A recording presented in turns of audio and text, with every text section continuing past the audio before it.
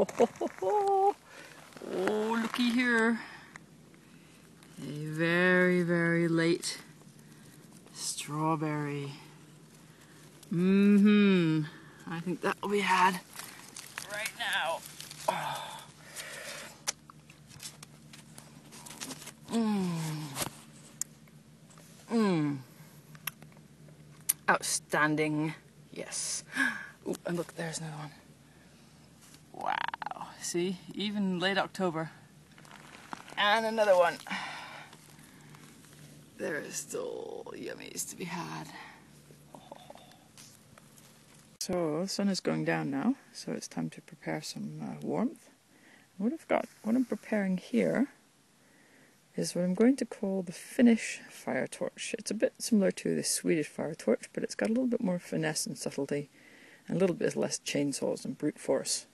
And so my Finnish friends might be amused by that. So what we've done here basically is taken uh, a piece of log, cut it into some equally long segments with a saw so that the tops are flat, and later on that will make our cooking surface.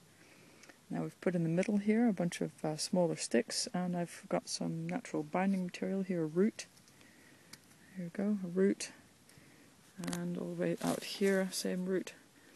That's going to be below where the fire is going to start so that we can uh, get this into a nice chimney. So I'm going to tie it up now and then I'll show you the finished product. Okay, so let's look at our ingredients here. We have, because we love our forest and we don't want to start a root fire, we're going to make a small pedestal fire. So for that, I've got some nice rocks. I've got a bag of very wet clay, which I'm going to smear all over the rocks, and then we're going to get going with our Finnish fire torch here. So as you see, I've bound these logs together. These little pieces of wood, that'll give me a nice platform in a bit. The inside is all stuffed with small wood. I'll be putting some more small wood in there. That's going to go on top of the pedestal.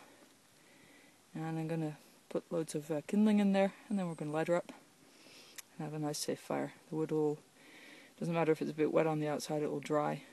And then eventually those will be the base logs for my warming fire, which I will need later on because it's going to look pretty cold. Okay, got a bit of a reflector here in this tree. Again, loving the fire. We're going to put the fire on this nice pedestal here. So I'm going to get going with that and show you what that looks like. So, here you have the whole fire set up now. Let's have a look.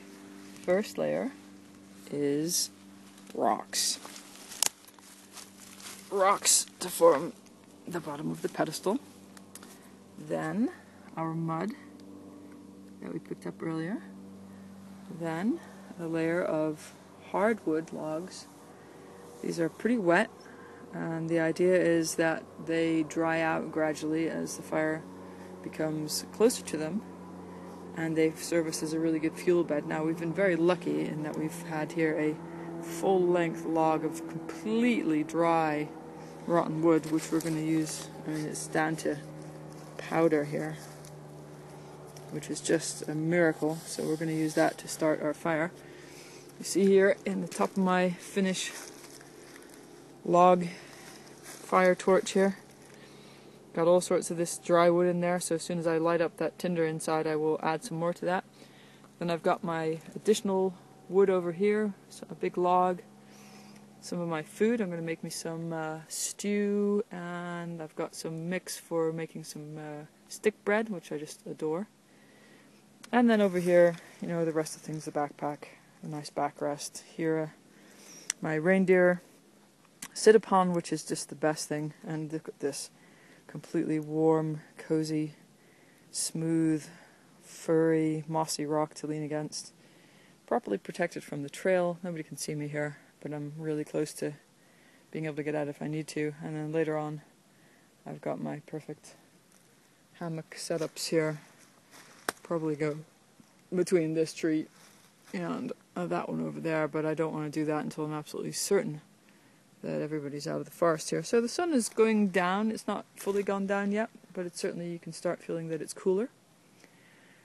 And um, I've got a few jobs still to do, so I'm going to uh, add a bit more firewood, and then I'm going to uh, probably just sit down, put a warm coat on, and put my warm socks on, and just kind of enjoy the evening a little bit, and we'll see later about how that fire turned out.